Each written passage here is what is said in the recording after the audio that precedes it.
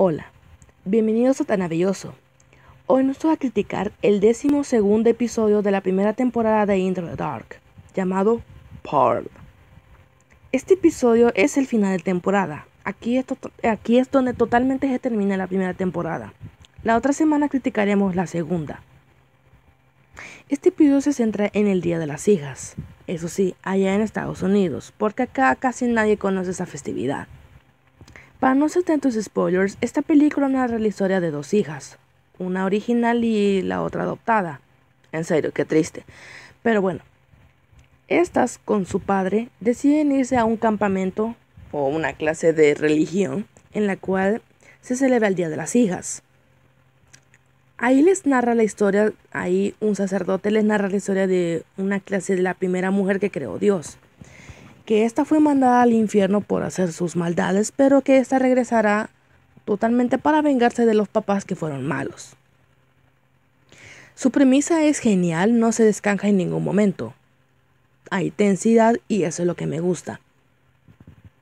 Sus momentos creepy son decentes al ser el último episodio. Este episodio también llega a sorprenderte si no ves ningún tráiler, más bien dicho si no estás viendo este. Pero este episodio fue muy bueno para despedir la primera temporada, porque técnicamente todas las temporadas de Into the Dark comienzan desde octubre y terminan hasta septiembre. Sí, en el día del cumpleaños de Christopher Alas. También sus protagonistas me encantaron mucho.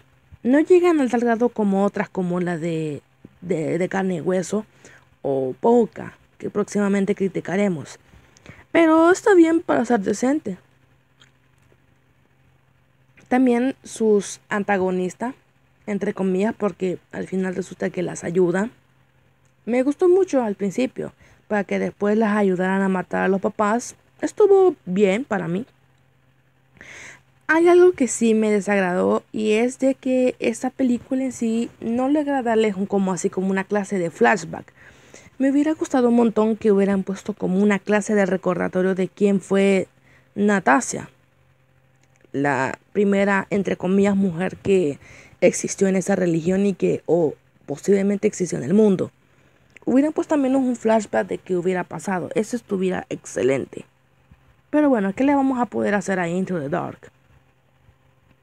En conclusión, este episodio fue muy bueno para despedir la temporada 1 no es como mi taza de té que me gustaría tomarlo mil veces, pero bueno, está decente.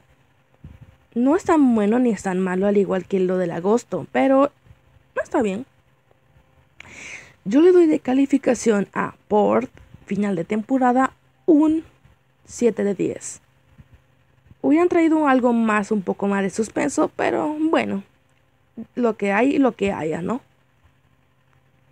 Bueno, espero que les haya gustado el video.